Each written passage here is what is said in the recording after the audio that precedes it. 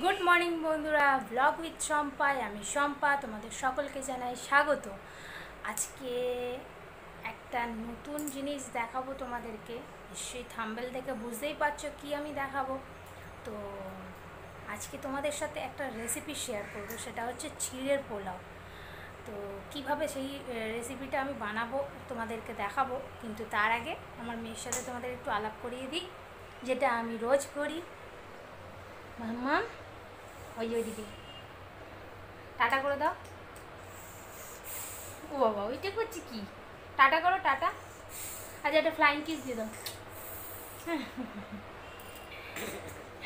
এখন এটা নতুন শিখেছে, তো এইটাই এখন তোমাদেরকে করে করে দেখাচ্ছে। এখন আর ফ্লাইং কিস বা কিছু দেখাতে চাইছে না।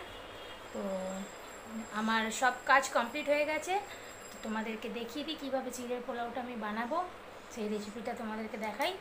চলো। আগেই তোমাদেরকে দেখাই, এখানে আমি পেঁয়াজ, টমেটো, কারি পাতা কালো সর্ষে আর দুটো কাঁচা লঙ্কা চিড়ে রেখে দিয়েছি।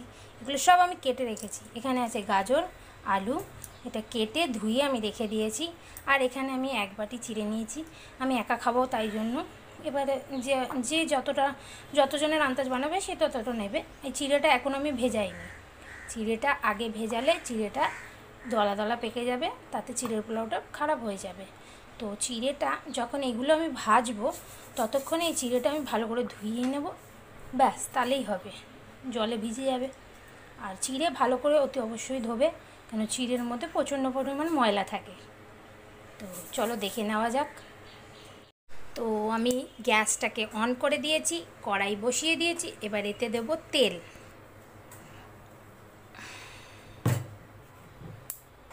কিছু মনে করো না, আমার ক্যামেরাটা হয়তো একটু নড়বে, কারণ আমার ট্রাইপড নেই। আমি হাতে নিয়েই তোমাদেরকে দেখাচ্ছি ফোনটা। তো কড়াইয়ে তেল দিয়ে দেবো। খুব সামান্য পরিমাণ তেল দেবে। জাস্ট এইগুলো ভাজার জন্য। ছোটো কড়াইয়ে তো তেল তাড়াতাড়ি গরম হয়ে যায়।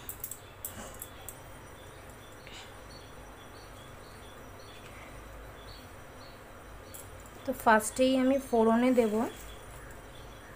কালো সরষে। কালো জিরে।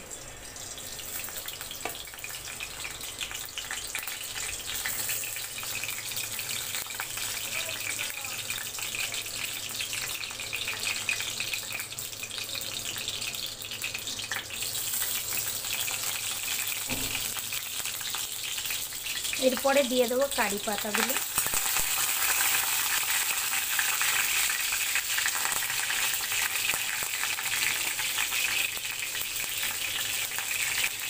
একটু নাড়িয়ে নেব।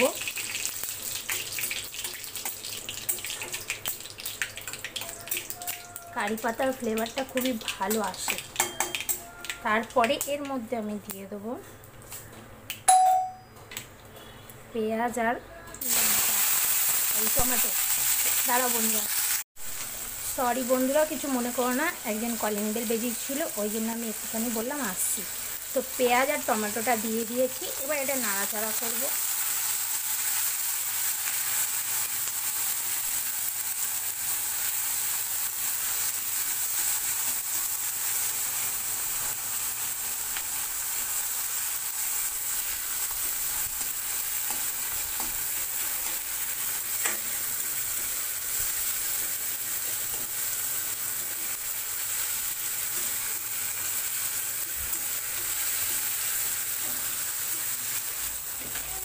আর গাজরটা দিয়ে দিই।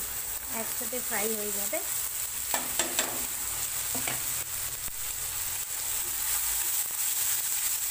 কারণ গাজর একটু ভাজতে টাইম লাগবে না? ওই জন্য। আলু তাড়াতাড়ি ভাজা হয়ে যায়, সিদ্ধ হয়ে যায় কিন্তু গাজর একটু টাইম লাগবে। একটু ফ্লেমটা কম করে দেবে। কারণ আলু আর পেঁয়াজ এসব পুড়ে যাওয়ার চান্স থাকবে।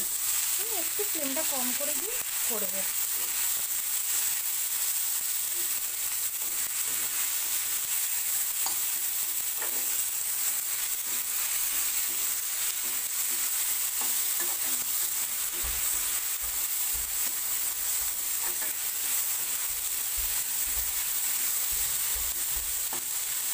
এর মধ্যে আমি এখনও নুন চিনি দেবো, কিন্তু এখন দেবো না, ওটা চিড়ে দেওয়ার পরে দেবো।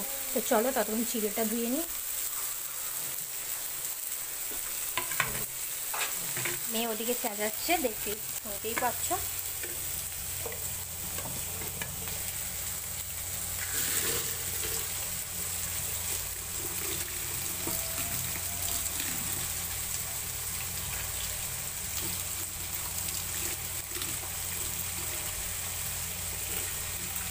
খুব ভালো করে ধোবে।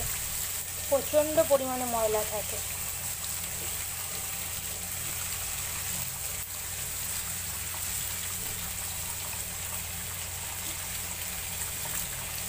তো আমাদের ধোয়া হয়ে গেছে। দেখো, গুঁড়ো গুঁড়ো যেগুলো চিড়ে ছিল বেরিয়ে গেছে, একটা বাটির ওপরে এটাকে এরকম বসিয়ে দেবো বাদ বাকি জলটা ঝরে যাবে।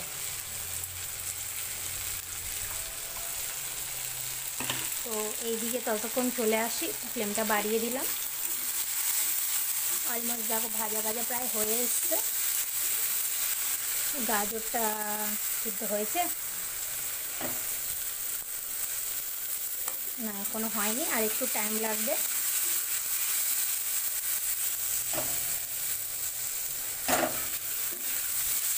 ততক্ষণ ভেজে নিই।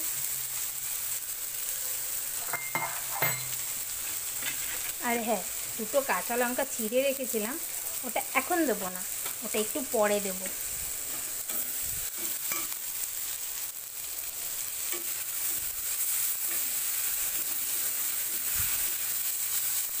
হ্যাঁ এতে হলুদ দেবে।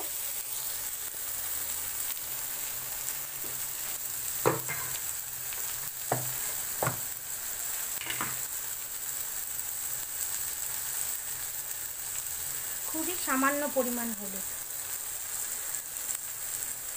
নারে একটা হলুদের কাঁচা গন্ধ থেকে যাবে।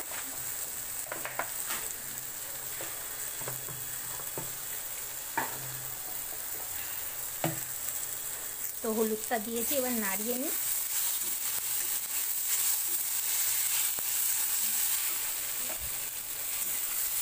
গ্যাসের ফ্লেমটা একটু কম করে দিলাম।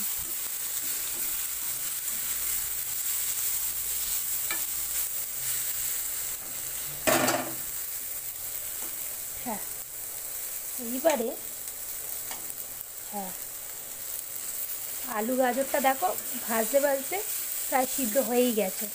আলু তাড়াতাড়ি হয়েই যায়, সিদ্ধ কোনো টাইম লাগে না। দেখ, খুন্তি দিয়ে এরমভাবে দেখবে, দেখো কেটে যাচ্ছে।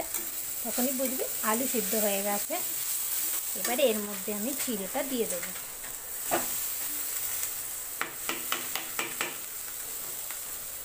দিয়ে এবারে গ্যাসের ফ্লেম কম রাখবে এই সময়। এবার নাড়াচাড়া করব।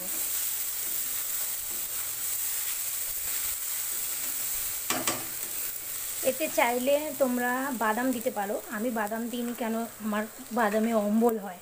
এই জন্য আমি বাদাম দিইনি। তোমরা চাইলে বাদামটা আগে একটু ভেজে রেখে দেবে, তারপরে এই টাইমে দিয়ে দেবে। চিড়েটা দিয়ে নাড়াচাড়া করবে বাদামটাও দিয়ে দেবে। এবারে এতে আমি নুন দেব। নুন দেবে যে যা স্বাদ অনুসারে। কি হয়েছে মা?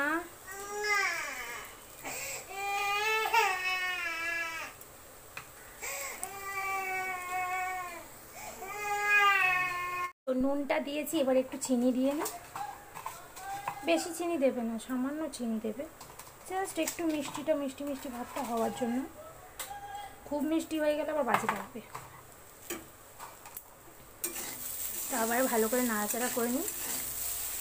কেন নুনটা, চিনিটা দিলাম ওটা একটু মানে এর মধ্যে মিশে না গেলে পরে ফ্লেভারটা তো পাবো না। আর যে লাস্টে কাঁচা লঙ্কা দুটো দিয়ে দিলাম। এটা লাস্টে দিলাম, এটা আমি খাব, তাই আমার মেয়েও খাবে তো বেশি ঝাল হয়ে যাবে আগে দিয়ে দিই পরে দিলাম।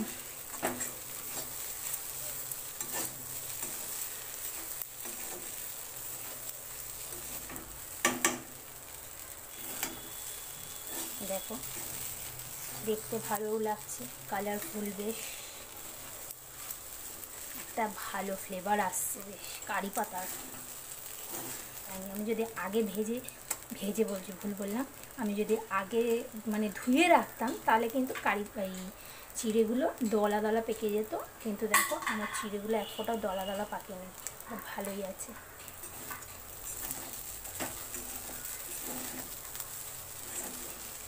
তো আমার চিড়ের পোলাও কমপ্লিট চলো এবার খেয়ে দেখা যাক।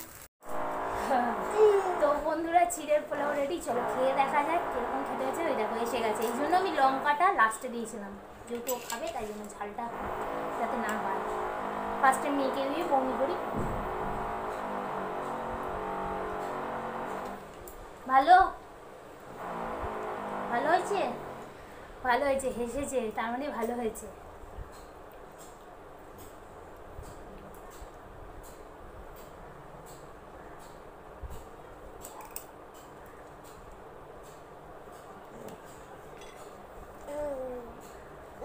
সব ঠিকঠাকই আছে, শুধু একটু নুনটা লাগতো। নুনটা যে যার পরিমাণ মতো দেবে। এমনিতে ভালো হয়েছে খেতে। খারাপ হয়নি। নিজে বানিয়েছি বলে বলছি না। তোমরাও ট্রাই করে দেখো।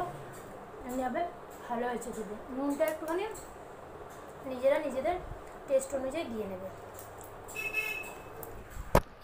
তো বন্ধুরা, আমার টিফিন খাওয়া কমপ্লিট হয়ে গেল। আজকে তোমাদের সাথে শেয়ার করলাম চিড়ের পোলাও। কেমন লাগল আমাকে কমেন্ট করে অতি অবশ্যই জানাবে। আর হ্যাঁ একটা লাইক দিতে ভুলবে না। লাইক দিলে আমারও ভালো লাগবে। আর যারা এখন অবধি আমার চ্যানেলটাকে সাবস্ক্রাইব করনি, তারা আমার চ্যানেলটাকে সাবস্ক্রাইব করে বেলে বেল আইকনটাকে ক্লিক করে দাও। আর আমার সাথে থাকো, আমার পাশে থাকো, আমার পরিবারে তোমাদের অলওয়েজ ওয়েলকাম সকলে সুস্থ থাকো, ভালো থাকো, সকলে সুস্থতা কামনা করি। আজকের ব্লগটা এখানেই এন্ড করছি। টাটা বন্ধুরা।